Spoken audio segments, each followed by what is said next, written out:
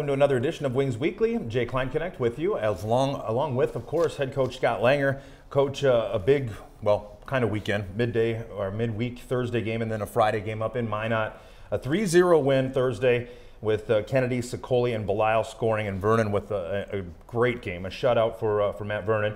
Then on Friday, a 7 1 win, balanced scoring from Strada, Salpeter, um, Sicoli, Mikowski, uh, Beatty, and two from John Sladek. Um, as a whole, what do you take away from the weekend? I mean, obviously, you got to be feel pretty good with coming away with a road sweep. Well, anytime you can go on break uh, with a sweep, it's it's good, you know, because you don't have to sit and and uh, be in a bad mood. That's for sure. But you know, our uh, our guys were they were good. You know, you you don't hear me say that a whole bunch, but they were uh, they, they got off that bus and they were ready to play and. And, and I, I just thought that uh, setting the tone was important, and you know we got on them pretty good, and uh, I, I, thought both nights was the same thing. You know, the Saturday night it was the most energetic I've seen our guys on a Saturday night on the road, and uh, maybe it was because of break coming up and they were excited that they're going to get home and see their family. But they played great hockey, and and I was impressed. Yeah. Well, you know, the, the power play went to two of 10 over the, the two games, 20%, and uh, the kill was spectacular, killing all 11 uh, power play opportunities that Minot had. Um, as you said, things, everything seemed to be clicking for the Wings over the weekend, but uh, the, the specialty team's definitely a big bonus too.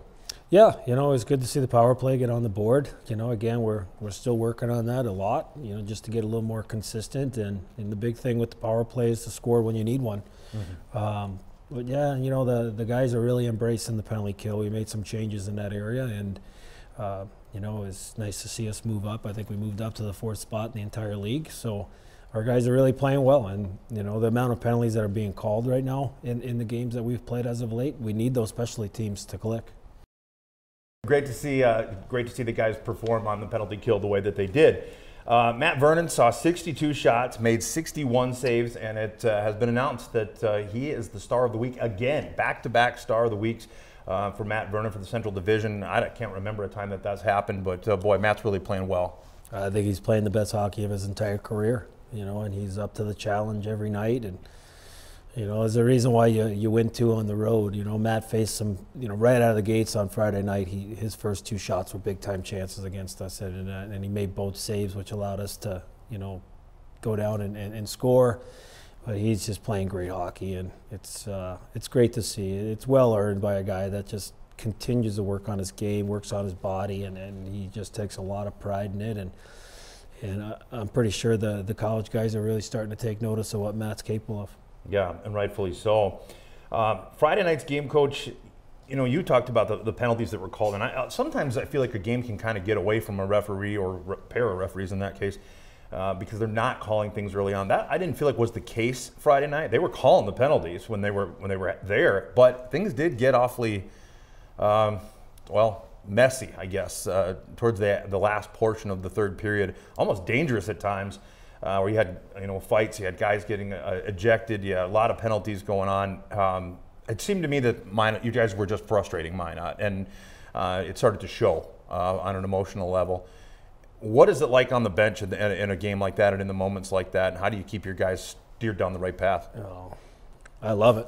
Yeah, I love the you know the, this team in particular gets real fired up uh, when liberties are taken with our team. And, and uh, you know, I was speaking to, to Mr. Odde there a little earlier about, you know, our team toughness. And, uh, you know, we're not the biggest hockey team, but uh, we're, we're, we're, definitely have some toughness here. And, you know, our guys did a great job managing it because the, some of the stuff that did happen uh, was a bit extreme, I would say, with, with guys getting jumped and, and, you know, two hand whacks that were, were pretty good. But, you know, you got to expect there to be a little frustration. I mean, Minot's a good hockey team, and they are the Central Division playoff champions. And uh, to to be played, the, to, to have the outcomes they had, two in a row on home ice, that's not going to settle well. And, you know, if I'm a coach and, and my team just lays down, you know, when that's happening, I'm, I'm mad. Mm-hmm. You know, so I think from, from their standpoint, at least they showed a little motion. I think a coach likes that. But uh, from our side, I think our guys manage it really well. You know, the Pitter stepped in on the one play, did what he had to do. Um, you know, Kennedy had Beatty's back, you know, and, and as soon as Joey got the major two hand across them, uh, our guys were right there, and we were there with five guys. So, you know, it's uh, it, it's uh, it, it, real extreme different than when we played Chippewa at home, and, and we had a big we had a big number up on the board. Those guys kind of policed it uh, well on their side. They didn't uh, they didn't overreact. So, but from our side, I thought our guys handled it really well. Yeah, I did. I thought so too, Coach. Um, you know, last week we talked about being happy with where this team is at here at the break, and obviously things clicking along nicely. And I hate to pick things apart, kind of, but moving forward, what do you see as uh, areas that you'd like to see more improvement? And I guess maybe uh, kind of in relation to that, do you continue to refine the things that are working, or do you kind of move on to other things, maybe add some wrinkles, add some different things? Well, I mean, it's the team that's going to get better after break is going to win this division. You know, you've seen our team last year after break. You know, I think we rolled off seven in a row. Mm-hmm. Um, you have to get better. You know, once they get back here, obviously a lot of all the principles are staying the same, but you have to improve as a hockey team, or else you're not going to finish at the top. Yet you might not finish in a playoff spot. So I, uh, I, I, think it's refining. I, I mean, I think all areas have to get better. You know, we're a good hockey team right now, but we want to be the best in this in, in this league. And you know, in order to do that, our preparation has to be good. Our practices have to be good. Um, and we're not going to be complacent just because we've won 20 games before break. I mean, that's that's not the ultimate goal here. So, uh, I, I, if, if I'm a betting man, this team comes back in this locker room very eager to get back on the ice and win games. Okay. Well, Coach, um, obviously the boys uh, at home on the break, spending some time with their family and friends. What, are the, what does the break look like for the coaching staff? Do you guys get a chance to take some time off and away and maybe see some extended family, or how, or, or do you guys just work straight on through? Um, I'd say a little bit of both. You know, Coach Hill's out recruiting right now, and and uh, I'm going to catch up on some stuff, especially some college stuff for the players. But uh, I'll spend uh, my Christmas here in Aberdeen, um, and, and Coach Hill will be back home in Dallas. Okay. Well, before we move on to Brookings, I wanted to ask you what your favorite Christmas memory is. You've been going back to Scott Langer as a, as a small child or wherever? What was is there a memory that stands out for uh, for a, a, special Christmas? I don't know if I can help you there. well, I kind of put you on the spot here too. Yeah, I mean, you know, since I moved away from home when I was uh, about 17, turning 17 uh, there was many times I've gotten to go back and, and spend Christmas with my mom and my brother, which to me has always been very special, you know, because we just don't get to see enough of each other with, with me out here in the Midwest and, and them out on the East Coast. Sure. Excellent. Okay, well, we talked about um, a little bit anyway about what, what's coming up, and that is Brookings. When the, the, the players get back, you, you, jump on the bus and head down to Brookings for, on the 28th, and there is a fan bus. We'll talk about those details coming up in just a little bit here. Um, but um, there, I would imagine there's a little bit of a challenge just to make sure that these guys are mentally prepared to get back into the grind. Is that fair to say? Oh, very much. I mean, you, you want your guys to, to have a good break. I think it's very important for development that they take a break mentally. But uh, they got to turn it back on the second they walk back in this dressing room on the 26th, and and they have to have a couple good practices because we only have a few. And uh, you know, but I think with the leadership we have here, I think we'll be okay. All right, coach. Well, um, again, the 29th here at the Odde. And then on the first, again, or not, excuse me, not the first, but the 31st, the New Year's Eve game here at the Odde Center, too. And again, details on those games coming up in just a bit. But, Coach, I appreciate you taking some time to talk to us. So we'll take a break and, and return in just a moment. But again, wish you a, a very Merry Christmas to you and your family. And again, thanks for coming on the show.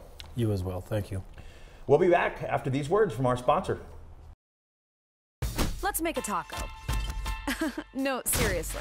Start with a tortilla, soft tortilla, warm it, kiss it, don't kiss it. Chicken? How about tequila lime chicken? Now we're cooking. Slice this, peel that, snip those. Salsa? Verde. Cheese? Cotija. Oh, forgot to mention. Guac. That's better. See, anyone can make a taco, but we're not anyone. We're Qdoba, and these are knockout tacos. Qdoba Mexican Eats. Choose flavor. Welcome back to Wings Weekly, and folks, as you can see, a uh, special guest joining me on Wings Weekly today, President Greg Odde. Uh, Greg, Wings uh, have been experiencing a lot of success so far through the first part of this season, um, and all the work that you and your family put into this, it's got to feel pretty good uh, going into the holiday break. Yeah, it's this has been a fun season. They're all fun, some more so than others, but uh, the team's doing well. The fans are awesome. Um, everything we've been doing is clicking, and you know it's just a big team effort. And really want to wish the team. I didn't get to see them before they left. Congratulate them on a great series in Minot, and uh, wish the team a Merry Christmas. Wish the fans a Merry Christmas. Christmas, the Billets, and everybody that's associated with the team. We've got a lot of blessings here, and we've and we've got a lot of things to be thankful for, for sure. Absolutely. Well, I'm sure that uh, the Wings fan base and everybody would like to wish you and your family a very Merry Christmas as well.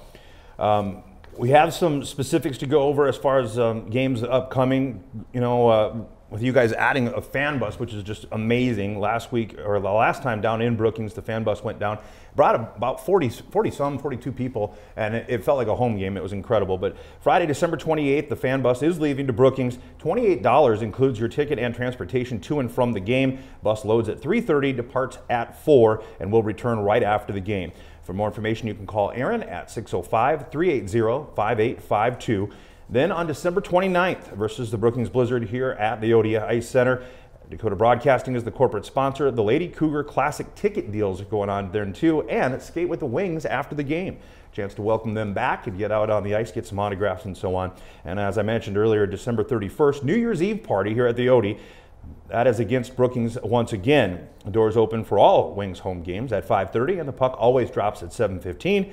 $10 general admission tickets are on sale now at any of the 4C Express locations in Aberdeen with additional purchase. And for all of the latest news and information, visit aberdeenwings.com or follow us on Facebook, Twitter, Snapchat, and on Instagram. Greg, again, I uh, thank you for coming on uh, here briefly and, and addressing, I guess, as you mentioned, the, the fans and the, and the players, everybody. I'd like to join you in, in, basic, in basically saying Merry Christmas, and we'll see you all over uh, New Year's Eve and down in Brookings coming up uh, after the break. I did miss one thing. The, if you haven't seen it, go check out the Wings video that the boys put together. I mean, awesome Christmas thing. And also, the store is open this week. Lots of great wing stuff there. Nancy and Aaron are going to be working it, so you need some last minute presents. Um, the hours are on uh, on Facebook and on our website. Thanks again, everyone. Absolutely. Perfect gifts for the Wings fan in your life. And as Greg said, you can check it out on all kinds of social media. It's being shared all over the place. The Wings Facebook or, or a Christmas video. It's definitely not something that you want to miss. That will pretty much wrap up this week's Wings Weekly.